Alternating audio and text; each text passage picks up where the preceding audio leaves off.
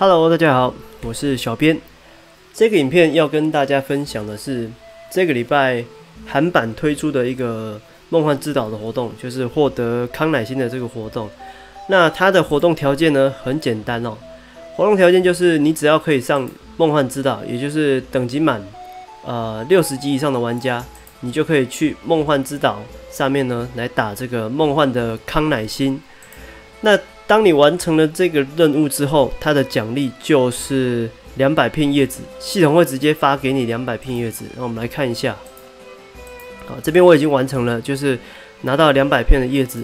然后它的康乃馨呢，就是这一个，这个康乃馨。那呃，活动条件的话是五个康乃馨，你就可以，你就可以完成这个任务。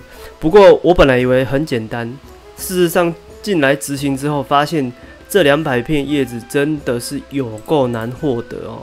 呃，目前来讲，从上个礼拜三推出到今天嘛，第几天了？三四五六日一哦，第六天哦，第六天其中有三天，其中呃应该是两天哦，我是没有完成这个任务的。为什么？因为打了一个小时的这个梦幻之岛都打不到，打不到五个。好，它这个康乃馨其实没有那么好打。那我今天是很幸运的，总共拿到五个完成了。那你拿到康乃馨之后，这个它就算你完成任务，它不会去把它删除掉。好，那这个康乃馨你可以留着来使用。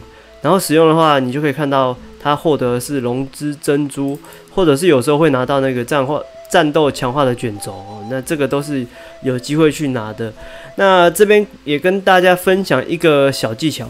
拿到康乃馨之后，如果你没有使用的话，它完成任务之后会，呃，好像会自动消失，或者是隔天的话它会自动消失，反正有一个时间它会自动消失。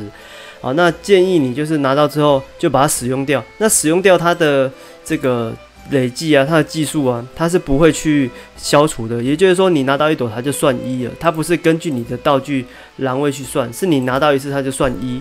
好，所以的话应该是隔天啊，隔一天它就会去把它清除掉。好，那这个活动呢，基本上玩法就是这么简单啊。如果说到时候台版推出的时候，大家也要去注意一下。如果你可以用一些呃增强的道具啊，比如说战斗强化、战斗强化卷轴，或者是这个牛排，或者是你去吃龙珠，去增加这个打怪速度都可以。反正你只要赶快越快去啊完成这个任务越好。好，那以上就是这个活动的介绍，感谢大家收看。如果喜欢小编的影片，记得在影片的右下角按下订阅，按下喜欢，然后分享给你的朋友。那我们下次影片再见喽，感谢大家收看，拜拜。